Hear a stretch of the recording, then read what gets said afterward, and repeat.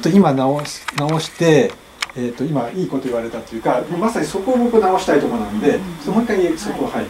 と今までは、はい。立っている時歩いている時に、うんどこに軸を持ってきていいのか分からず、なのでどこに力を入れていいか分からなかったので、うん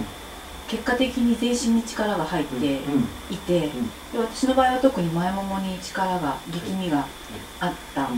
ので、歩くととにかく疲れて、で疲れるから力を抜きたくても力の抜き方も分からなくなってしまってだから全身こうやってブラブラってさせるんだけど、うん。寝てもうん。こうやって触ると力が抜けてないっていうのが自分で分かるぐらいうん。過緊張状態だったんです、だけど今はこうやって歩くと別にどこに力もいらないっていうのがはい。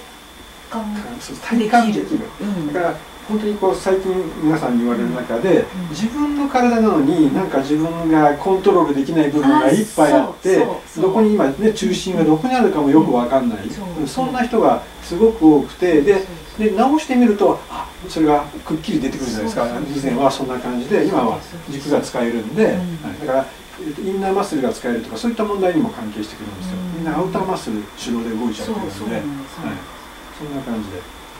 ではい。そんな感じ。で、そう。あの自分の体が自分の体じゃないよ。そうそうそう。はい、そんな体が今蘇った感じでしょ、はい。でそうすると、えーあある人たちはあこれって子供の頃の感覚かなみたいな、ううんん子供の頃ってこういう感覚で動いてたのかなみたいなことを言われる人が何人か最近出てくる。そんな感じでしょうね、はい。はい、そんな感じ。でもっと、えーそれをねしっかりさせるやつの中であります。それで終わりにしますね、はい